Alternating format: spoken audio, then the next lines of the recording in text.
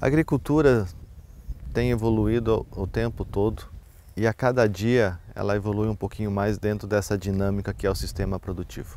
Nos últimos anos, temos incrementado muito o uso de produtos biológicos, tanto como uma ferramenta no controle de pragas e doenças, mas também acreditamos que é um sistema de evolução e tem nos proporcionado ganhos de produtividade, um equilíbrio melhor no controle de pragas e doenças e trazendo, em especial para nós, um resultado muito grande.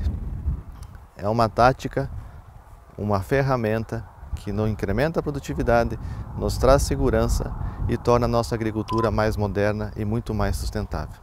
O uso, o uso de biológico é uma ferramenta hoje fundamental para a agricultura brasileira.